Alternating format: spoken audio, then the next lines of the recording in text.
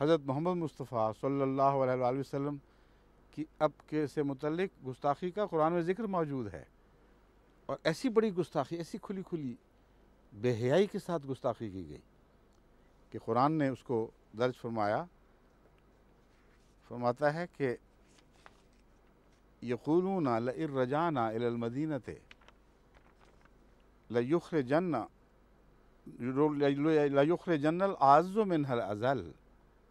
वलिल्लाज़्ज़त रसूल वलमोमिन वलाकिन मुनाफ़िकीन अल्लामून सूर अलमुनाफ़िकून आयत नौ उन बदबख्तों में से कुछ लोगों ने यह कहा लर रजाना मदीनत लयुख जन्नल आज़मिन कि हम जब मदीना वापस लौटेंगे इस गजब वाले सफ़र से तो उनमें जो सबसे मुआज़ इंसान है, वो सबसे जलील इंसान को मदीने से बाहर निकाल देगा। ये वाक़ अब्दुल्ला बिन उबई बिन सलूल का वाक़ है। उस बदबख्त ने अपने दोस्तों की मजलिस में ऐसी बकवास की थी और मुराद नाउज़बिल्ला मिजालिक हज़रत मोहम्मद मुस्तफ़ा अलैहि वसल्लम थे कि जब हम मदीने पहुँचेंगे तो इनको मैं बाहर निकाल करूँ, निकालूँगा। सहाबा इस आयत को सुनकर बहुत तैश में आए। ज़ाहिर बात है, जिस जैसी मोहब्बत, मोहम्मद रसूलुल्लाह सल्लल्लाहु अलैहि वसल्लम से सहाबा को थी, वैसे आजकल के उलमा का जो भी मकाम रखते हों, ऐसी मोहब्बत का दावा तो नहीं कर सकते। बहुत दिल आज़ारी हुई, लेकिन ईमान पक, पुख्ता था, अपना मर्तबा समझते थे। कुरान और रसूल की इजाज़त के बगैर। किसी किस्म की कार्रवाई को गवारा नहीं करते थे।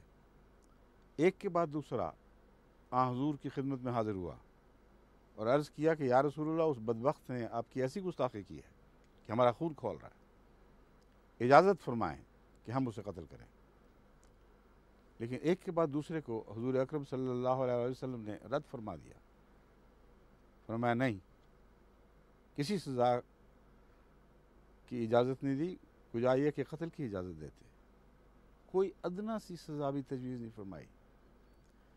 यहाँ तक कि अब्दुल्ला बिन उबई बिन सलूल का अपना बेटा, जो ईमान में सच्चा और पाक था, मुखलिस था, वो आ हजूर की खिदमत में हाज़िर हुआ और उसने अर्ज़ किया कि, या रसूलुल्लाह, मेरे बाप ने बड़ी गुस्ताखी की है। मैं जानता हूँ कि आपने दूसरों को इजाज़त नहीं दी, मगर मेरे दिल में यह ख्याल आया कि शायद मेरी खातिर ऐसा ना किया हो। कि मुझे अपने बाप की वजह से तकलीफ़ ना पहुँचे, या मेरे ईमान को किसी तरह इस वजह से ठोकर ना लगे। या रसूल्ला मुझे इजाज़त दें। मैं हाजिर हूँ उस बदबख्त बाप को कत्ल करने के लिए जिसने आपकी गुस्ताखी की हज़रत मोहम्मद रसूलुल्लाह सल्लल्लाहु अलैहि वसल्लम ने फरमाया, नहीं, कोई इजाज़त नहीं है। उसी तरह वो, आ हजूर के काफ़िले के साथ वापस मदीने में दाखिल हुआ। और बाद की ज़िंदगी में जो उसके साथ सलूक है वो तो इंसान देखे। तो मज़हब के उसने खुल के आसमान पर ऐसा कोई हुस्न आपको चमकता हुआ दिखाई नहीं देगा। जैसे हज़रत अकदस मोहम्मद मुस्तफ़ा सल्लल्लाहु अलैहि वसल्लम का हुस्न का आफ्ताब उस, उस, उस सिलसिले में इस मौके पर चमका है।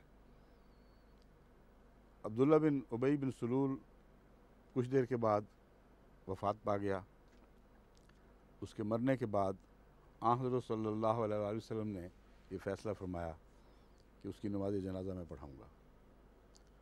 आ हजूर, नमाज़ जनाजा पढ़ाने के लिए रवाना हुए। सहाबा में बेचैनी पैदा हुई। वो जानते थे कि ये कौन शख्स है। उम्र भर मुनाफ़तें करता रहा और हजूर अक्रम सल्ला वसल्लम की शान में ऐसी गुस्ताखी की थी। हज़रत उमर एक तरह से रास्ता रोक के खड़े हो गए और अर्ज़ किया कि, या रसूलुल्लाह, आपको इल्म है कि खुदा ने इन लोगों के मतलब क्या फरमाया है? आपने फरमाया हाँ मुझे इल्म है, लेकिन फ़ैसला कायम। उन्होंने अर्ज़ किया, या रसूलुल्लाह, अल्लाह तो ये भी फरमाता है कि अगर तू इनके लिए सत्तर बार भी बख्शिश तलब करेगा तो फिर भी खुदा तला इनको नहीं बख्शेगा। हाँ हज़रत वसल्लम फरमाया, उमर वह रास्ता छोड़ दो। वो मालिक है अल्लाह। वो अगर सत्तर दफ़ा मेरे बख्शिश तलब करने पर बख्शिश नहीं फरमाएगा तो मैं सत्तर से ज़्यादा बार उसके लिए इस्तफ़ार करूँगा। इसके बाद फिर अल्लाह ताला ने वाज हुक्म के तौर पर आपको इरशाद फरमाया कि, आइंदा तुझे इजाज़त नहीं है कि किसी की कब्र पर खड़ा हो। ऐसे मुनाफी की कब्र पर खड़ा हो और उसके लिए दुआ कर। लेकिन जब तक ये वाज हुक्म नहीं आया खुल के मोहम्मद मुस्तफ़ा सल्लल्लाहु अलैहि वसल्लम ये था, जो इस शान से चमका है कि जैसे मैं पहले अर्ज़ कर चुका हूँ, मज़हब के आसमान पर तलाश करके देख लें, इसके पासंग को भी कोई और खुल का नमूना नहीं पहुँच सक, पहुँचेगा, पहुँचता हुआ दिखाई देगा। बस ये ये है कुरान करीम की तालीम, हज़रत मोहम्मद मुस्तफ़ा अलैहि वसल्लम का उसवा और किसी जगह भी, कहीं भी इस हुक्म के सिवा के उनके लिए, उनके कब्र पर खड़े होकर दुआ नहीं करनी, कोई और सज़ा तजवीज़ नहीं हुई।